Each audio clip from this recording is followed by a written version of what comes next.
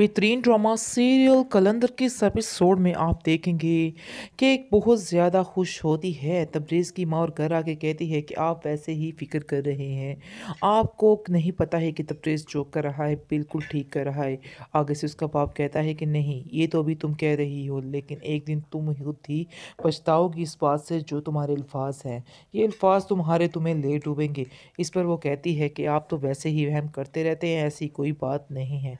इसके बाद देखेंगे कि जैसे ही जूही आती है घर पे तो वो आकर कहती है कि आपने तबरेज़ भाई को रोका क्यों नहीं? उसको भी अपने साथ लेके आना चाहिए था। आपको मैं बता दे रही हूँ कि वो लड़की अब हम लोगों से भी उन्हें नहीं मिलने देगी। ये आपकी बहुत बड़ी भूल है कि वो हमारे साथ उनका कोई ताल्लुक़ रखने देगी। ये आप अपने दिमाग में अच्छे तरीके से बिठा के रख लें। इस पर उसकी माँ कहती है कि नहीं, मैं अपने बेटे को बड़े अच्छे तरीके से जानती हूँ। वो पैसों के लिए सिर्फ़ इस तरह कर रहा है, लेकिन वो हमें तो कभी भी नहीं भूल सकता है। काफ़ी ज़्यादा वो आपस में बातचीत करते होते हैं, काफ़ी ज़्यादा टेंस नज़र आ रही होती है, जूही और उसका वालिद उर्फ़ी सारी बातें सुन के कहता है कि आप लोग जो कुछ कह रहे हो, बहुत ज़्यादा गलत कह रही हो। आप लोगों को ऐसे नहीं करना चाहिए। मैं आपको अभी भी कहता हूँ कि उसको फ़ौर वापस बुला लें, वरना आप सबके लिए बहुत बड़ा नुकसान हो जाएगा और उसका अजाला आप कभी ज़िंदगी में नहीं कर पाएँगे।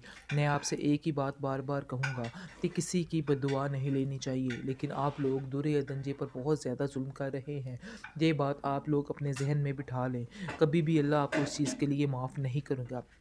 आगे से आप देखेंगे कि तबरेज़ का बाप कहता है कि मैं भी यही बात कह रहा हूँ, मुझे भी ये चीज़ नहीं मान, दिल को लग रही कि ये सब कुछ हो, लेकिन तुम्हारी माँ है कि मानने का, यानी कि मेरी बात मानने का नाम ही नहीं ले रही है, वो बस एक ही बात पे अटकी है, पैसा पैसा पैसा पैसा।